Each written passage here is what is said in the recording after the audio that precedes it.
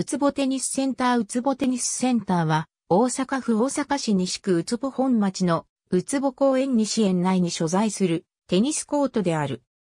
2014年4月より、うつぼテニスマネージメントチーム、株式会社 ITC による共同事業体が指定管理者として管理に当たっている。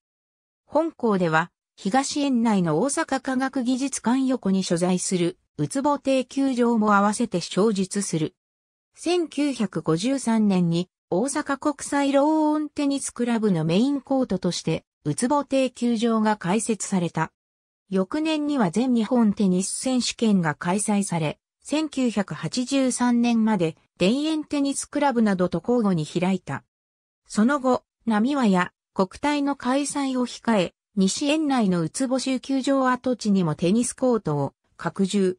1995年にうつぼテニスセンターとして開設された。現在の施設は全天候型ハードコート16面で内一般コート14面センターコート1面、サブセンターコート1面で構成されている。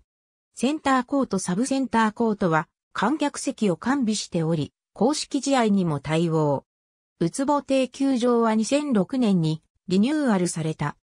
現在では世界スーパージュニアテニス選手権大会など主要大会の多くも開かれており、2009年からはジャパン女子オープンテニスも開催されていた。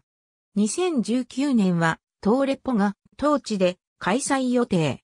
テニス以外にも2011年より、ビーチバレー JBV ツアー、大阪オープンの会場として使用されている。